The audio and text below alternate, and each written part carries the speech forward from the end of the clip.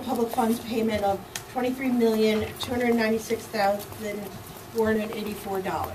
Thank you, Amy. Do I hear a motion to approve? So moved. Second? All in favor? Aye. Um, Okay, so the board has a statement to be, to, uh, to make. Uh, I want to just make a statement about uh, two things, or three things in the statement that Mr. Connor made earlier today. Um, First, I want to clear, make clear that the board did not rely on individual IMC report, uh, reports to make their decision. The board did and is entitled to rely on evidence that was received from trial. And the contribution card uh, in Chinese was available, according to our records, on February 10th, 2011. Thank you, Amy. Board statement on John Liu non-payment, August 5th, 2013. Under the board's rules, public matching funds may not be paid if there is reason to believe that violations of the Act and board rules have been committed.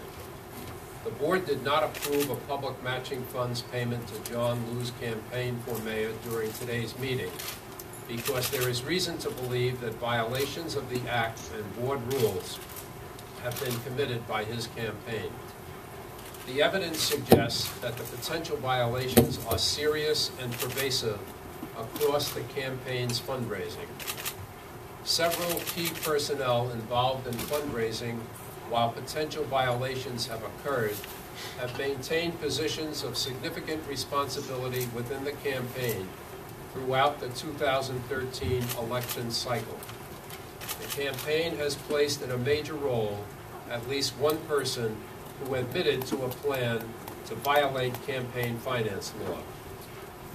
The board's conclusion is based on evidence revealed during the prosecution of the campaign's treasurer by the U.S. Attorney's Office and through the board's own thorough investigation. In the final analysis, the board is answering a different question than the jury was asked to consider. The board has received evidence of substantial noncompliance with the Act and board rules. In particular, the solicitation, receipt, and reporting of, quote, straw donations, end quote. Straw donations represent an attempt to obtain public matching funds inappropriately. They obscure the true source of the funds, and they call into question campaign's compliance with the Act's contribution limits and prohibitions. The candidate is ultimately responsible for the campaign's compliance with the law.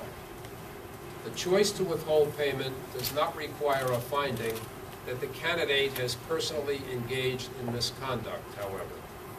Under the Act and Board rules, the actions of a campaign's treasurer or other agents are legally indistinguishable from the campaign. In order for the board to approve a public funds payment to any campaign, the campaign must maintain accurate records that are sufficient to demonstrate compliance with the Act and board rules. Absent a complete and accurate set of records that demonstrates compliance, the board may deny payment of public matching funds. Under the circumstances noted above, the board is unable to rely on the campaign's record keeping. The campaign finance program is a public investment in our democratic process, and the board takes its responsibility to protect the public's investment very seriously. To qualify for matching funds, participating campaigns must both collect small contributions from their supporters and demonstrate compliance with the law. The choice to withhold payment in this instance is based on the campaign's inability to demonstrate that it is in compliance with the law. Thank you. There being no further business, I am willing to entertain a motion to adjourn. So.